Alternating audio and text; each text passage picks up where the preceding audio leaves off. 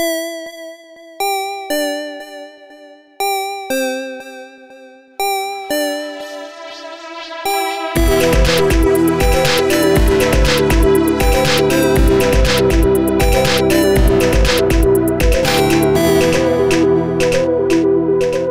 everybody, Rev here. Uh, I am actually not alone in this intro, but I will speak to our, our guest here momentarily. Uh, so, what we've got here actually, this is our playthrough that we did quite a few years ago now of Pugmire. Myself and Jake and Tass, we did this as Patreon content. Um, and every now and then we like to kind of dole out some of the Patreon content for everybody to hear. And um, part of the reason that this is coming out now is because uh, we have got Eddie Webb here with us. Uh, Eddie Webb is the creator of Pugmire. Uh, he's also the voice you'll hear running us through as we play Pugmire. And there's quite a few things for us to talk about because since we've played Pugmire, we played a OG Pugmire, and now there is Yeah. Pugmire Realms. Can you talk to us a, a little bit about the difference between those two? Totally. Um. So uh, yeah, Pugmire is kind of the, the like better term, the first edition of the game. Um. And it was very much the idea was it was kind of something that's very close to Dungeons and Dragons, but with dogs. It wasn't quite the same. I always intended it to be kind of more of a streamlined version,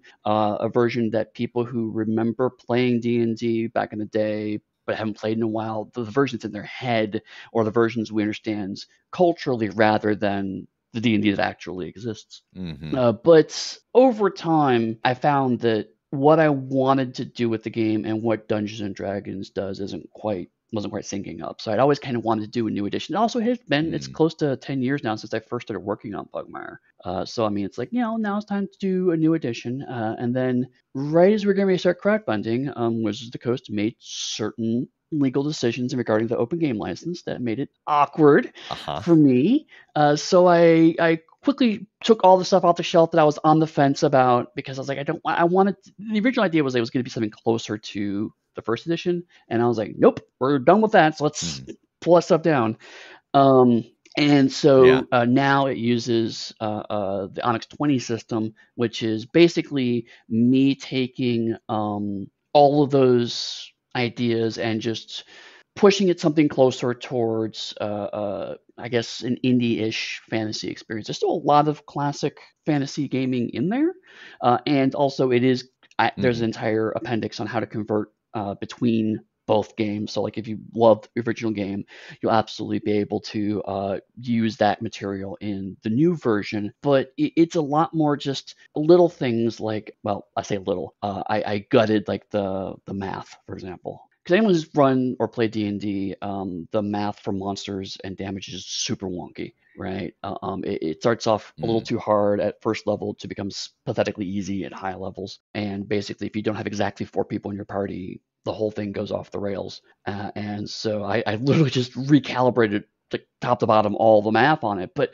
I didn't. I tried to do it in a way that wouldn't be glaringly obvious, right? It's like, oh, this looks kind of like a stat block. I'll just use this Mhm. stat block versus the old stat block.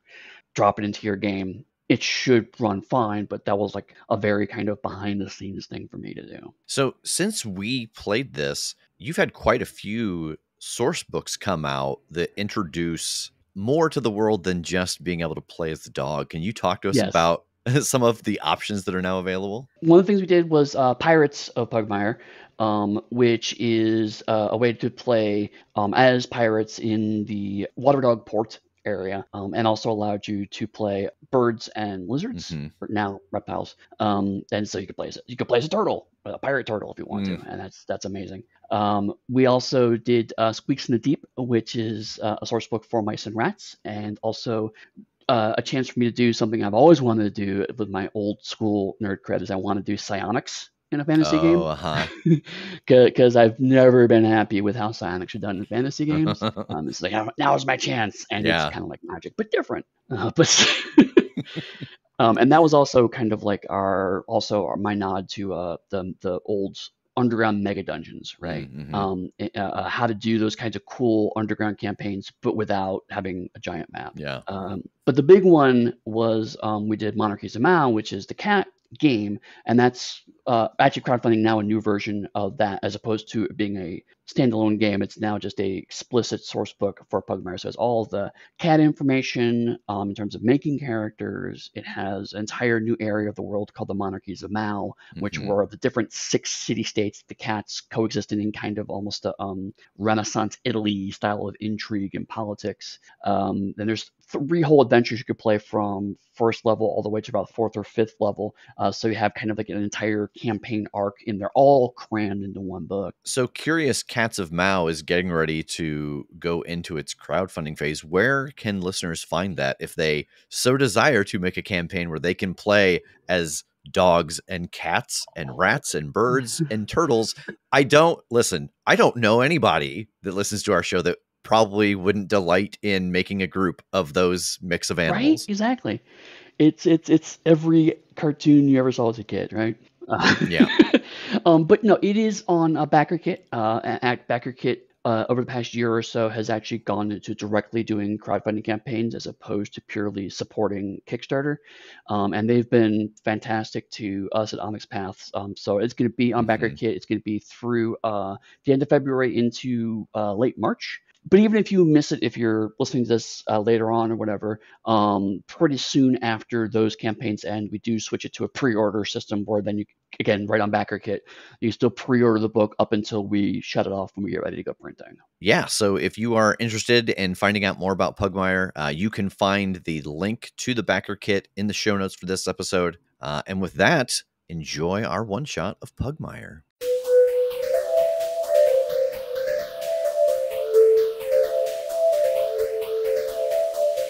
Across the vastness of reality, a limitless number of existences play over infinite possibilities. These are the fragments captured in our rudimentary observation. Welcome to the Omniverse.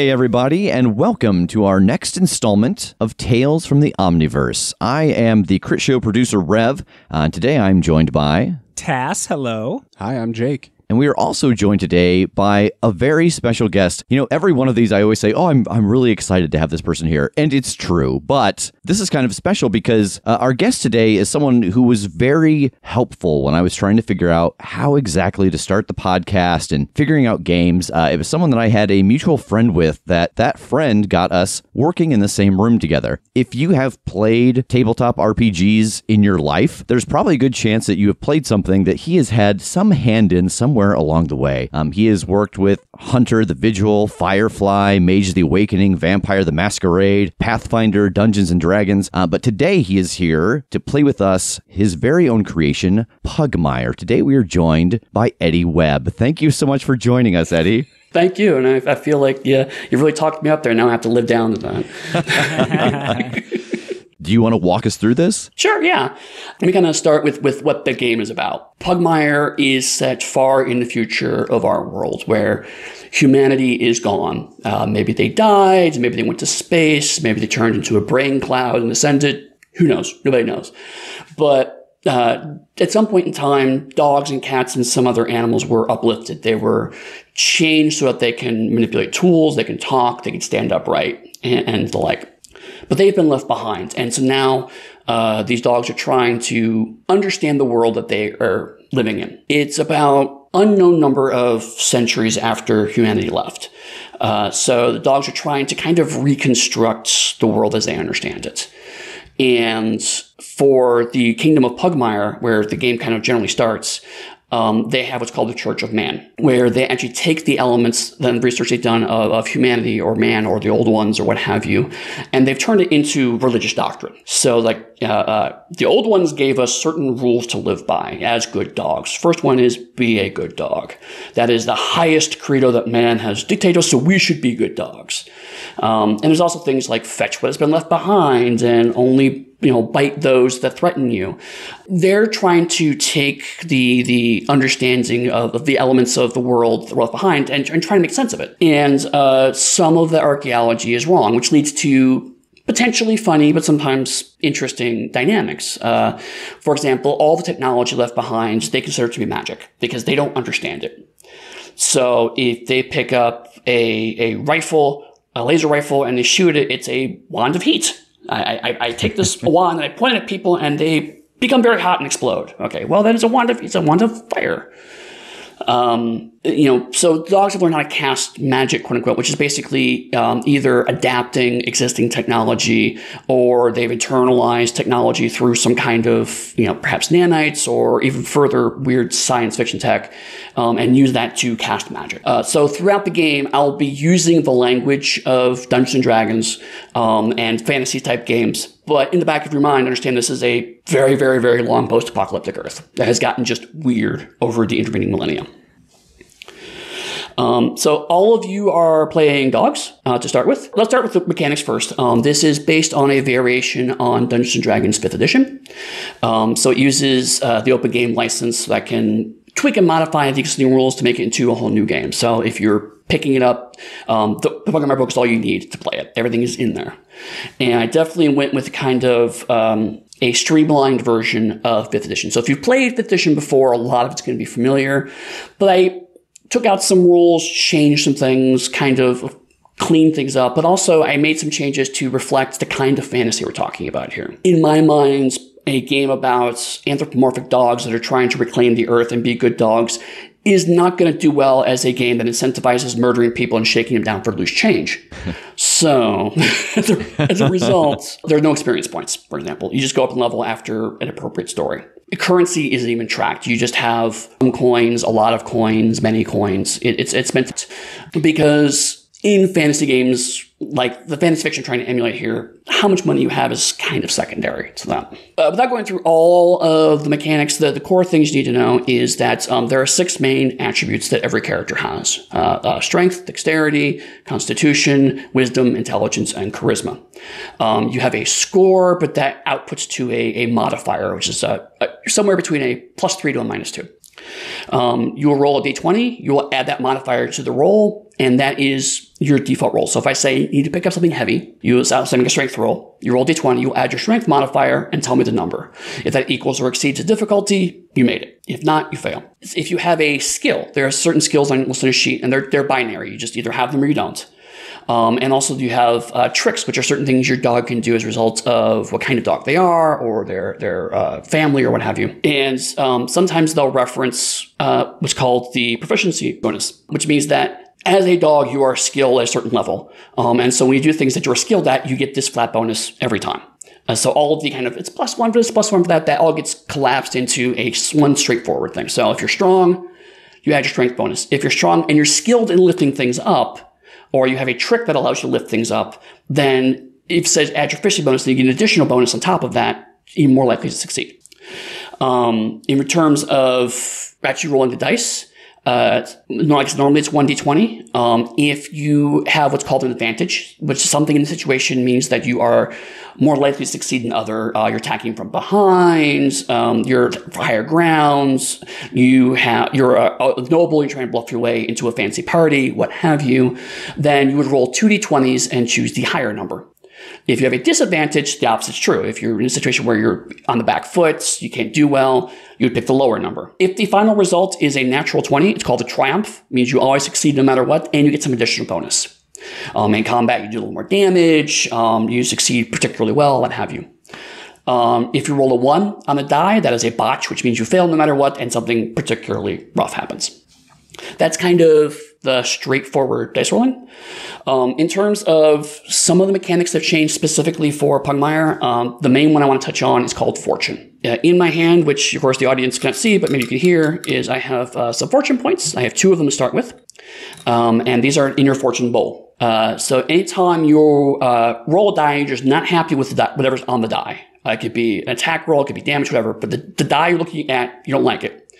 You can ask the group if you can spend Fortune to re-roll. If no one says no, I take the fortune out of the pool, reroll a die, and take the better result. You get fortune by playing into personality traits, which really ultimately boils down to if you do something that's really funny or you do something that's um, makes things harder for you but is appropriate to your character uh, or you come up with a really cool plan. Whatever makes the game better and more interesting beyond just fight kill fight kill fight kill whatever i will choose a time to give you fortune as a result of to add more fortune to the bowl. The idea here is that the early stages of the story um, due to your character quirks and your decisions you're probably going to make things a little more complicated a little rougher. So you're building up a fortune pool so that way when the big fights or the big conflicts come later, you have more resources you can spend to try to overcome those bigger, more complicated situations. So things are a little rough at the beginning, you build up fortune, things get close to the end, the big situation, you spend fortune to get out of it. That's kind of the, how the dynamic works. Um, and certainly you can say things like, hey, my character should do this, but because my character will do this other thing instead, um, I think should get fortune. So feel free to ask for fortune. But I've listened to the podcast. I'm sure this is not going to be a problem for you guys to generate fortune. I know how this works. but those are kind of the, the high points of the rules. Do you guys have any initial questions about that? I don't think so. Yeah. No, it's all very Okay, cool. very straightforward. Cool. Um, and I'm sure as we get into stuff, um, uh, we'll uh, continue on in terms of how like combat works out, get to that if and when there's a fight. There might not be a fight. There's totally going to be a fight. then to kind of start off, all three of you um, are, are dogs in the Kingdom of Pugmire. Uh, specifically, you are royal guards, but you're kind of an unusual group of royal guards. Um, you do help out with uh, the king, King Puggington, who is the king of Pugmire. You do help out with him. You do kind of act to protect him and the, the royal family. But you're also given a fair bit of autonomy. Uh, sometimes you travel outside the kingdom to look into things that might be long-term threats. Um, sometimes the king just asks you to go on special missions. Sometimes they're quiet missions. Sometimes they're they're important missions. And so you've been labeled the itinerant Pugmire travelers, or the IPT for short.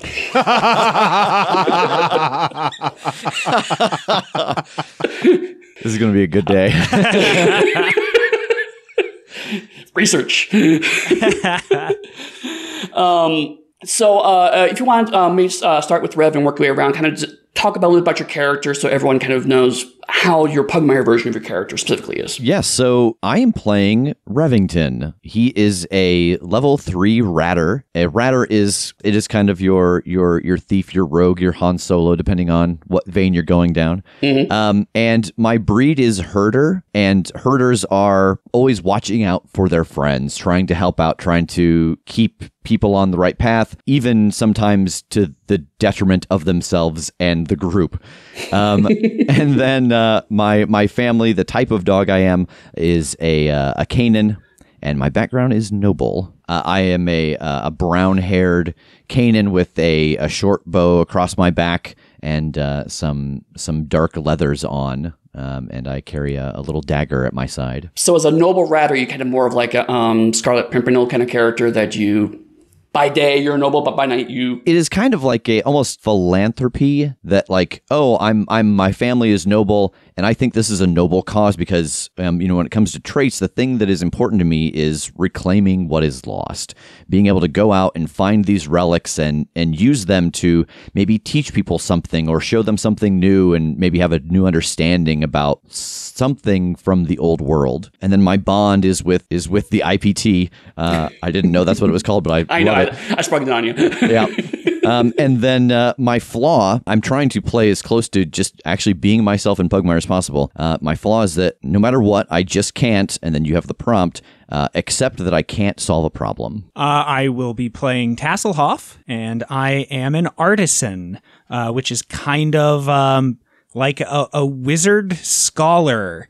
Um, the what I'm leaning into in particular is that kind of scholarly aspect of wanting to find things from old, find the the secrets of the old ones. I am playing uh, uh, the breed of a pointer, which I think feeds into that. The pointers, you know, they're kind of hunt things down. They want to find information. They're, yeah, the collectors in that way. And the family is Beagle.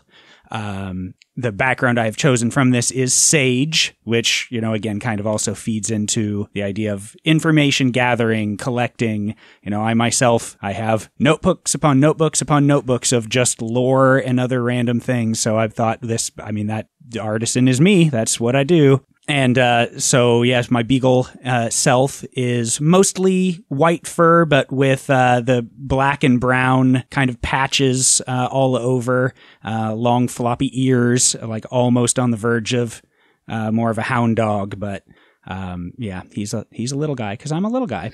and um, uh, uh, but before we finish, I want to mention um, for artisans in Pugmire, they're kind of like magic users, and also kind of like bards. Yeah. Um, in the sense that they can be inspirational, but specifically they channel their magic through an object, some relic of man that that allows them to empower them. So, do you have a specific object in mind for um, your your your focus? I do.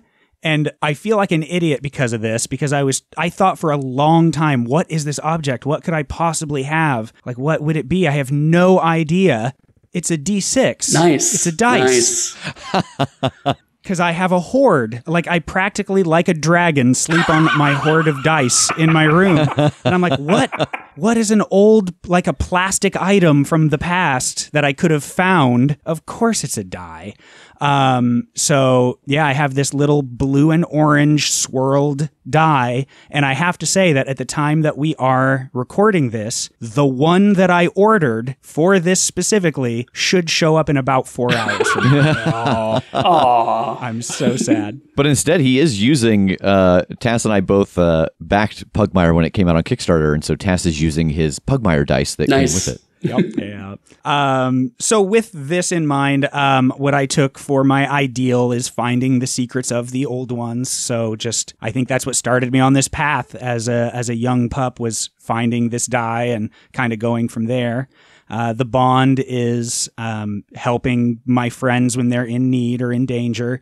Um, you know, I already know that they have kind of that same goal in many ways. And I also struggled with my flaw because I knew it had something to do with me being just an angry little person. and I think Jake put it best because the prompt is no matter what, I just can't. And then you fill in the blank. And he says, well, it should just be no matter what, I just can't. and that was too perfect. So that's what I'm going Sweet. with. Uh, I am playing Jacob. Uh, my calling is Guardian, which is sort of like a, a paladin, protector, fighter type. Uh, my breed is Fettle. Um, Fettles are sort of they're just kind of tough, stalwart dogs. They're the they're the like it doesn't matter how many times you hit the mat, it matters how many times you get back up. They're that kind of dog. Um, so very, very well constituted, very strong, a very sturdy dog. Um, I am playing a Kana uh, so I'm a, a big kind of jowly. I'm I'm toying with the idea of doing a real jowly voice this whole time, a wet jowly voice. Um, but real, real big. Still got the floppy ears though. Uh, not like the not like the clipped scary ears. He's still got his floppy. Oh, ears. nice. Nice. Um, and my my background is common folk, so I'm a I'm a very kind of salt of the earth. Uh, you know, down down in the trenches, people like me. People will uh, look out for me if I need them to. Kind of dog. Um, I wear heavy armor, uh, a big big suit of armor, and carry a warhammer and a shield. Um, my ideal, what's most important to me, is helping the helpless. Uh, and something that I just can't do is uh, give second chances. If somebody proves out the gate that they're untrustworthy, I am not inclined to change my opinion on that, no matter what they do. I dig it.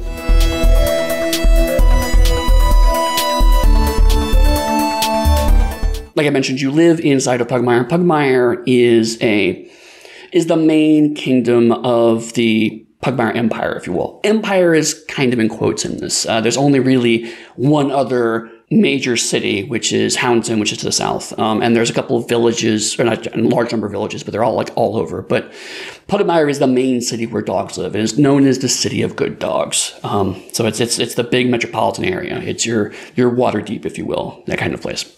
And today is a citywide festival because today is officially King Puggington's birthday. And so to celebrate, all of the dogs are uh, uh, off and they're you know they're they're they're drinking beer out of bowls, they're dancing in the streets, generally just having a good time. The princess of Pugmire, Princess Yosha Pug, uh, she is known to be very inquisitive, much like like Tass. She likes to know things, um, and in this case, she wants to go to uh, Riverwall, which is also known as the Cat Quarter part of town, so she can kind of celebrate to get to know other people besides the people in her family and in the castle. Riverwall is not the best part of Pugmire. Um, it's where the docks are. Um, so there's a river that goes to east of Pugmire, and this is kind of the dock area.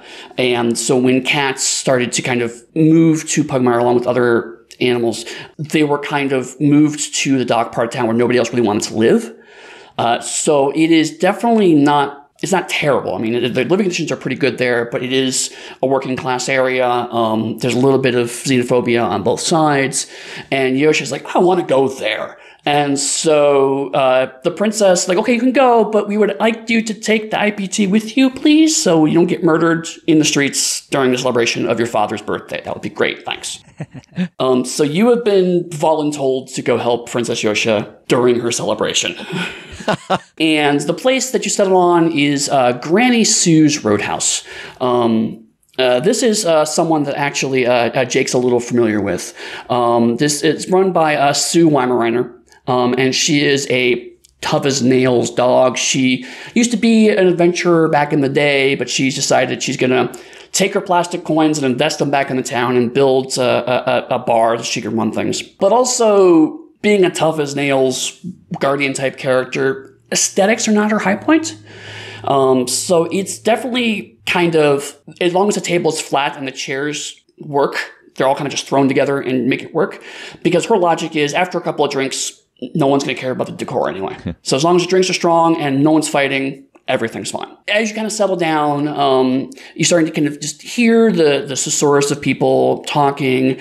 This is definitely the kind of place where if you wanted to find someone in a cloaked figure in a corner ready to hand out missions, that would probably happen in a bar like this.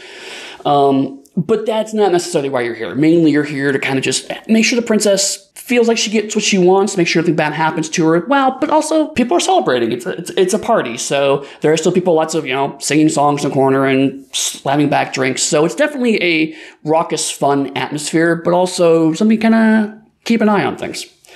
Um, so the princess kind of sits down and she just is happily right now just drinking out of a bowl. Is there anything you guys are doing while you're here? Anything you want to keep an eye out for? Yeah, I think just taking a peek around the room to see if anyone is not celebrating, like that sounds like a strange thing, but on on a day of celebration, I'm always uneasy of the people who seem to be unhappy with the the people who are out enjoying the time. Okay. Um, why don't you go ahead and make a uh, wisdom roll? Um, we can use uh, uh, notice or any other skills you think might be appropriate. All right, and um, one of my tricks actually is uh, keen observer. Okay. Which gives me advantage on wisdom rolls. Absolutely. So then go ahead and uh, roll two and pick the higher number.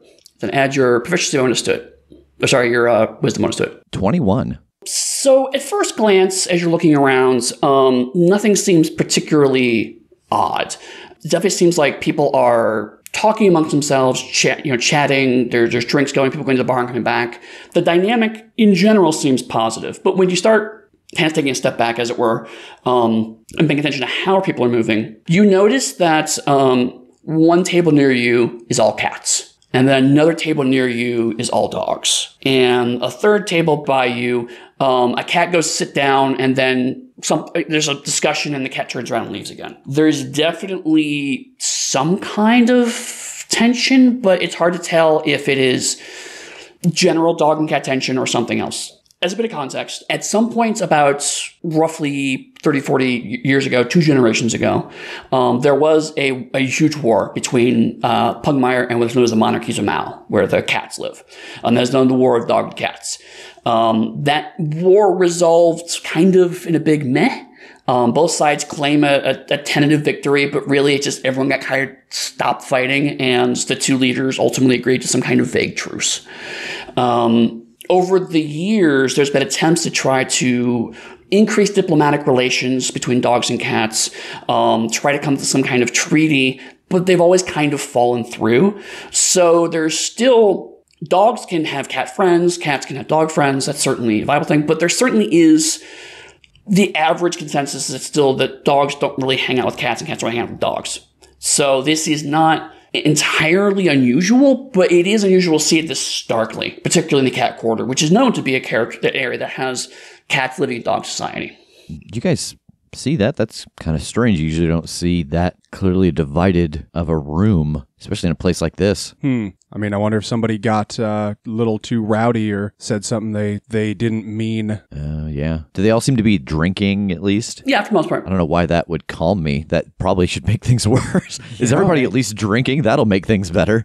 No, I, I think I was thinking the same thing. Can I go buy two rounds at the bar? Sure. Um, how much uh, on your sheet you should have uh, uh, some number of plastic coins? What does that say? Or amount of plastic coins? A few. Okay, that's uh, you can buy A rounds maybe with a few coins. Um, if you got if, if someone has uh, many, you can definitely get two rounds. Or if you guys want to chip a couple of people, could chip in their few coins. Yeah, Can somebody spot me? I can. I have many plastic coins, so I can chip in as well. Okay. Uh, what I want to do is go buy a round for each table and go specifically hand them to everybody at each of those tables, and then stand in the middle between them and make a big toast to King Puggington. Don't really make a roll for that. Uh, it just kind of happens. So you go to um, Rev gives you a bunch of plastic coins, and you go to the um, bar, go to Sue. It's like I want to buy a round for everybody, where she's happy for business. And so uh, there's, let's say, besides you, there's like three rough tables. So you get like three big rounds. So you get the first one. Do you want to go to uh, the all dog table? Uh, there's one that only has a couple dogs at it, and there's one that's all cats. Which one do you want to go to first? Uh, I think I'll do couple dogs, then all cats, then all dogs. So you go to the first table, you put the drinks down. They, they're kind of quiet. Um, as you can look at me, they're definitely uh, dock worker types. Um, you get the impression that this is the place they always go to drink when they're off work. The fact it's a festival is completely irrelevant to the fact that they're here today to drink because that's what their time to drink. so their their career, they're hardcore, you know.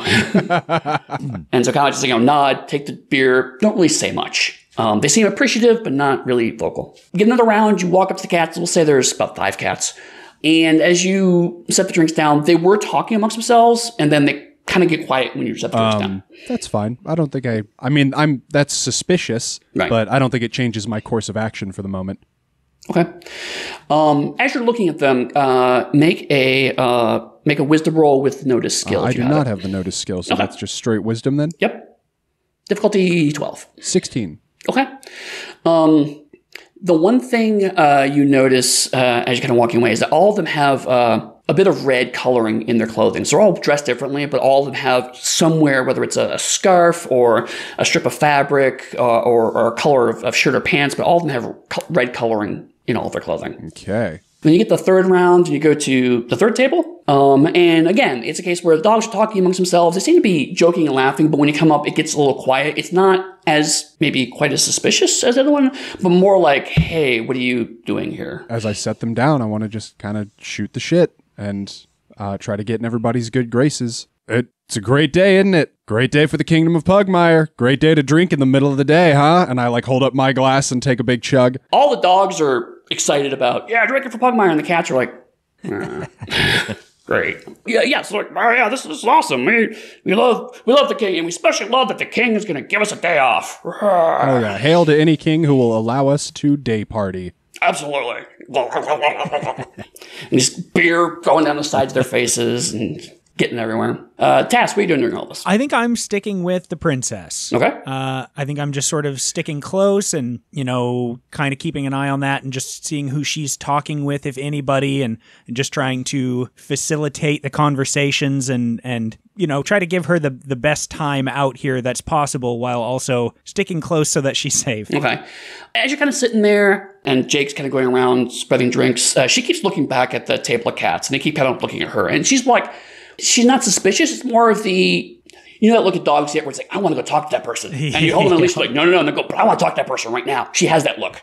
okay. Um, do you, do you want to go say hi? yes, please. I mean, I mean, yes, I would like that, please. Well, yeah, let's, let's go. Let's go just say hello and see how they're doing. Okay. Is it okay? Because I don't want to cause you trouble. I mean, be prepared. They're strangers. They may not really want to talk. And if they don't want to talk, we, you know, we just nod and, and go about our way. Is that okay? Okay. Yeah, that's fine. All right. Let's, yeah, let's just go give a little greeting. Yeah, so she uh, uh, gets up and her tail is just going a mile a minute. She's like, "Oh my god, this is so exciting!" And uh, so she walks over and um, she stands for the cats. The cats again kind of look and stare at her, and and she curtsies. Um, and she's like, yeah, my name is Princess Yosha Pug. Um, my father is the king, and this is a birthday today. And I just want to make sure that all of you are having a good time and that everything is okay. And uh, uh, Rev, because you've been kind of paying attention to the dynamic of the room, um, you get the sense that these cats don't know how to deal with this. Like they're prepared for dogs being assholes, dogs being loud, dogs being jerks. They're not prepared for dogs coming up and being polite and civil. So they're kind of like to have it look like, like almost see the question marks over their heads. Yeah. And they're like, uh, thanks, your highness.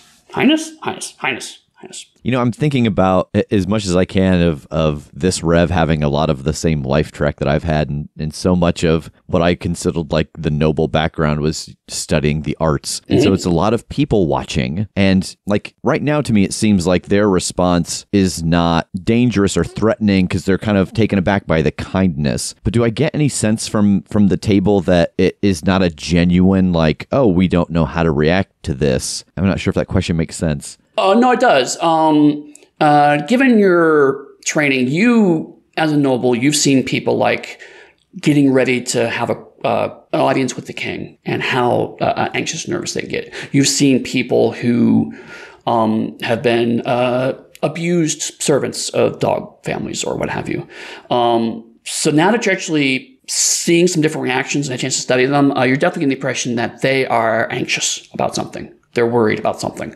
So they're being insular because for some reason they're just seeing dogs in general right now as a threat. yeah, I'm gonna go up with them at the table. Uh, yes, this is, as she said, Princess Yosha. Are are you all having a good time? We want to make sure that you know everyone in Pugmire is is enjoying this day off. Uh, everyone seems a little on, on edge. There's one kind of big tabby cat, um, and he kind of just sets the bowl down and is like, I never really got a taste for dog beer. I prefer catnip, catnip tea. Oh, that's fair. I'm surprised. Do they not serve any here? I don't, never asked. Oh. You know, she's like, oh, I'll go ask, and just boom, goes to the bar. um, so she's right by you now, Jake. Um, and you get, and you kind of see, you're just finishing up the rounds for the last table. Um, and they're like, yeah, cheering. But you see like the, the princess just running right by you to the bar. Hey, what are you doing? I'm gonna get some tea. Do you have tea? Tea? Do you have tea? And Sue's like, what? Catnip, catnip tea. The cat, the cats, they want catnip tea. Sue's like, I don't. Maybe I'll look in the back. She goes, turns, and go around the corner to the kitchen area. And so you know, she's kind of standing there, just tail going. I will wait with her for the tea. When she goes away, does the demeanor of the cats change? Do they like follow her? Do they keep their gaze with us? They're keeping an eye on you more than them because you're the two of you are right in front of her, right in front of them, right? Yeah. Um, a couple of them are kind of keeping an eye on her, but more in the sense of what is she doing rather than we have to keep track of her for some nefarious purpose. Okay. Which is helping you kind of put things together. It's definitely more along the lines of like, why are these dogs talking to us? We just want to have a drink rather than malice. Okay. So it does just kind of seem like a we thought this was a, a safe, comfortable place to drink, and now we're being bothered Right. by. Okay. Okay. So if you're just kind of hanging out, Sue will come back with tea um, and hand it to Yoshi on this huge tray that Jake probably should pick up. It's probably a little big for her. Can do. and then you all walk over to the table, um, and there's just five cups of, of steaming tea. They look kind of uh, almost like a green tea in in, in, in te- color and texture. Uh, so, so a look kind of weaker looking tea. It's not a, a thick color, um, kind of greenish, um, but it smells quite nice. Um, and then the big tabby cat kind of takes it and sniffs it and then drinks it. It's like, ah, there we go, that's better. Is that the good stuff? I lived here for a while, but I still the beer sits weird with me, right? You know, I've never tried catnip tea, actually. He hands you the cup. I want to try it. It tastes like boiled grass. Hmm. yeah, that's pretty good. That's great. The guy takes it back, and then he's, they're starting to get more comfortable. Um, and actually, the tabby's like, "Why don't you pull up chairs?" And Yoshi immediately just grabs your chair, sits down. I'm doing my best to give them like encouraging but apologetic looks, like you know, kind of sh- shrugging at the princess, like, "Yeah, I see, they're just like everybody else. Uh, sorry, guys," and just yeah, trying to almost you know get on their side a little bit and um, just watch what she does. Well, um, Tash, you've been around the princess enough because, like, you've because you're both artisans. You both kind of talked theory and and and shared information and whatnot. Um, you know, like so you've been around her a bit more than the other two, and you know that she is on the cusp of when Yoshi's asked a question, it's more like a question tsunami. okay.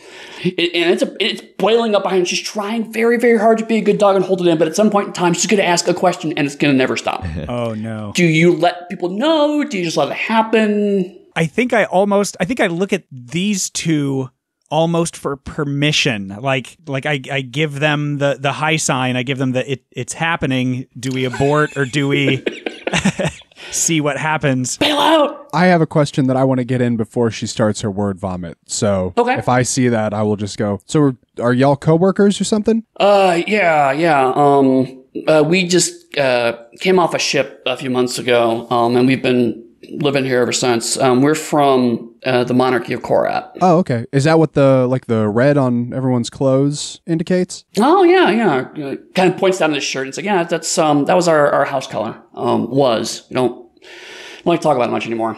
Um, but we're he's he's clearly stumbling. Then a, a black furred cat, kind of smaller cat, uh, she kind of pipes up and says, um, "We're done with Korat." It's like, "Shut up!" And she's like, "But we don't want to go back there. Why? Why are you being weird about it?" Like, we're still loyal to cats and we don't share these secrets with dogs. And Yoshi's like, why not?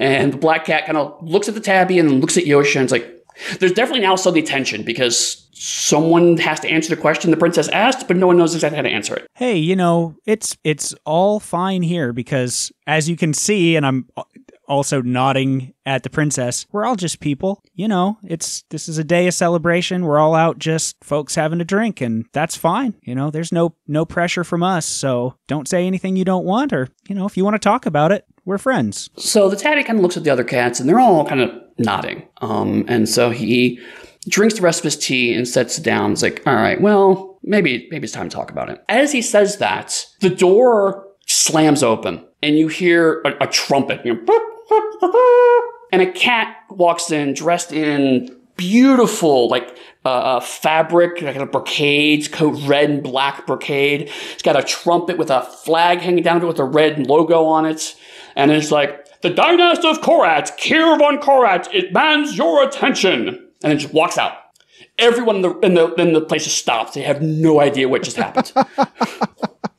Wait, wasn't that the place you guys were just talking about? yeah, that's suspicious. And they start looking at you guys again. Real suspicious timing. But why don't you stay in here for just a just a moment, and we'll go out and see what it is. Like, are are you guys in? Uh, this is such an odd question to ask, but are you in danger? Is there a reason that someone from your homeland would be hunting you down, looking for you? a black furred cat, she kind of speaks up and it's like, he won't say it, but I will. Yes, we, we know something that they want to keep quiet. We can take care of ourselves. And you know, she's like, no, we can help you. And and she's like, no, we, we'll take care of ourselves, but we could use help. Well, you're in Pugmire now, which means you're part of our city. So we won't let anybody take you or do anything to you without them having to get through a whole lot of us first. The other cats kind of just nod and drink their tea. Um, and Yoshi's like, yes, we should go talk to them. And just gets up and starts walking towards the door. Oh, uh, I we're okay. All right. Yeah, quick, quick on her heels. Yep. So you kind of go out outside, um, and uh, the area that the um, roadhouse is in, um, it's one of the main roads that leads pretty much down to the docks. So, like, if you just go out, take a right, walk down, eventually you'll you'll hit the river. Uh, so you can get a pretty good view of that normally. Um, but because there's the, the festival going on, when you first got here, there were a lot of dogs and cats kind of in the streets celebrating, going to one place to another, what have you. So it was a very kind of busy time. Um, all of them seem to have been either encouraged or pushed, and unclear, but there's a clear line now in the road. Um, it looks like the people with the horns are going just to other people and, you know, make way, make way. At the ends of the street where the docks, you see a ship has been docked. Um, did notice before? Um, it is uh, a big, tall ship. Um, it has a nice plastic hull, which is common for uh, particularly well-made ships um, because the water of the river and the acid sea are slightly acidic, and so the plastic hull keeps them from disintegrating the wood. Um, and so having the plastic hull, and there's a sign, this is definitely a very expensive ship. Um, you see flags, they're similar to the flag you saw hanging from the horn of uh, the original cat. Um, there's again splashes of red along the edges of the boat. Uh, but coming off the boat, coming down the street, there's a, a palanquin on, on four big muscular cats are carrying this palanquin down the road, and the palanquin you can't see inside of it, but it's um, got kind of a reddish wood tone to it. So it's that kind of like uh, uh, cherry wood kind of texture to it. Um, but there's no windows you can see. It looks like it's all kind of closed up. And along the, on the edges of it, you can see again that kind of uh, the red symbol that you're trying to realize is the symbol of the monarchy of Korat is along the side. And you hear more of those people with horns like "Make way, make way!" and it's just marching down the street. And did all of those cats come out with us, or did they stay inside? They're now, uh, if you look over your shoulder, uh, they're behind you. They're out of the, the, table, but they're kind of like looking around you. Uh, um, particularly with with Jake, he's kind of a bigger dog, so it'd be hard to kind of look around him. But um, uh, they're like wanting to kind of hear what's going on, but also not wanting to push past you.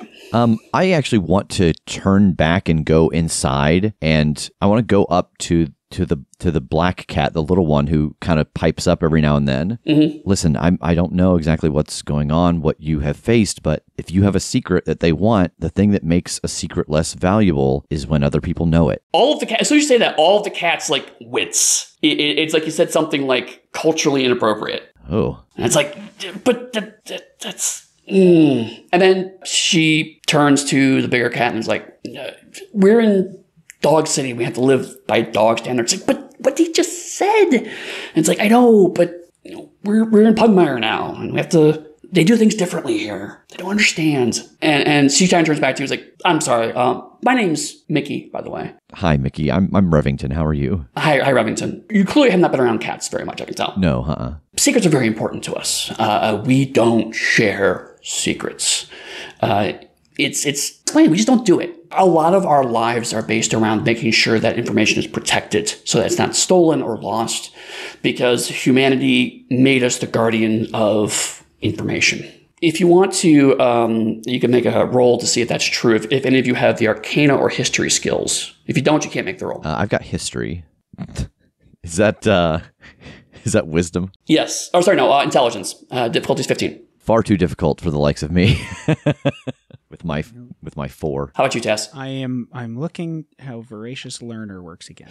Oh, uh, Voracious Learner, I believe um, you get advantage in your roll if it's something you could have theoretically read before or heard about before. Okay, so would that count for this? I think it's fair. Um, if you've been hanging around with the Princess a lot, you've probably picked up some political stuff. Sure, that makes sense. Okay. So yeah, you can roll with advantage. 20? So uh, a lot of what was said is true, but not all of it. Um, the whole thing about cats keeping secrets, now that you start hearing, it's like, oh yeah, I do remember reading something about that. Cats do consider secrets to be very, very important.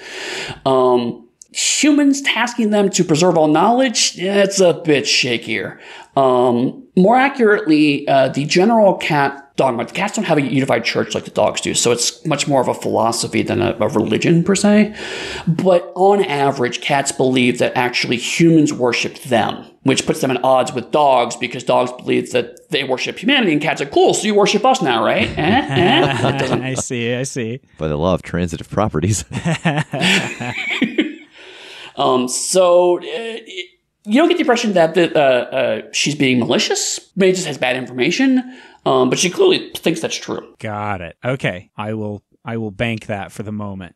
And so she's like, you know, clearly hemming and hawing. She really wants to say something, but she's also trying to explain why she can't say something. Yosha kind of steps up and grabs her paw and puts him biggest paw on her paws and says, "Whatever happens, I, you know, we'll do what we need to. If you don't want to tell us, that's fine. But know that I'm sure my father will do whatever it takes to help you. Uh, and she has the trick puppy dog eyes, which means that um, she gets to roll advantage on her charisma rolls. That's so good. Um, and she has a 22. Uh, so um, uh, Nikki finally goes, okay, okay, fine. Um, yeah, you, you, should probably know. Um, and she looks around, and the other dogs are like all paying attention. And so it's like, there's a lot of people here. She's like, but can we go to at least the back of the room and talk? Yeah, yeah. Okay. So in the background, you still hear "Make way, make way," as you make your way back to the um back of the, the bar, and um you basically go back to that table you were at before, but like you know now you're all crowded on the back of the table, and so you can see who's coming in. So now you're starting to act as paranoid as the cats were um, when you first came in. But she's like, "It is our belief that the dynast has been taken over by some kind of force." We don't know much. We just know that they're advocating very hard for a new war with Pugmire. And there's no good reason why we should do that. We don't believe that there's any benefit for it. And the, our house has always been a house of warriors. We believe that um, we should clash and fight, and whoever is the strongest will, will benefit. But this is something else. And the only thing I have is I found this, and she reaches into her bag and pulls out. It's um, it's a big kind of plastic coin. Uh, it's old. It, has been scarred and damaged, um, uh, but carved into it, you see uh, a spider emblem. And she's like, something about these. This is important to them. Uh, so as you're talking, I mentioned um, outside you were hearing the kind of the the make way, the horns, and all that. Um, that is starting to turn into screams. Oh, I will run out and see what's going on. The three of you rush outside, and you see that um, the palanquin that was being carried. It looks like there's something kind of shaking inside of it. The whole thing's rattling and and, and jostling around, and a spider leg pops out from it and starts to burst through from the palanquin.